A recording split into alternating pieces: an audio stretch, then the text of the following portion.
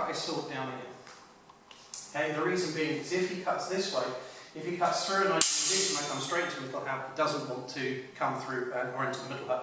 He doesn't want to roll over the top. So what I'm trying to do is I'm trying to get him to be forced to roll over the top. So as he comes in here, then strike with the Mittelhau. Okay? Pop this in towards here to get the original move going. Once he starts blocking this, one, two, three, four. Okay? He's coming to the side. So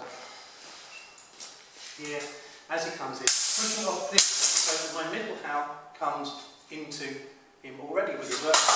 One, two, three, four. Okay? And then hopefully a little bit more speed so as he comes through. Was that right? Yeah, fine. Okay. So.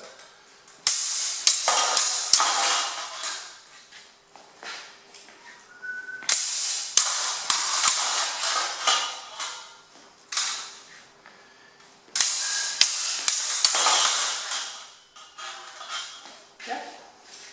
Yeah. So can you see how the original move is this? Here, he strikes in, taking the strike over to encourage him to strike up.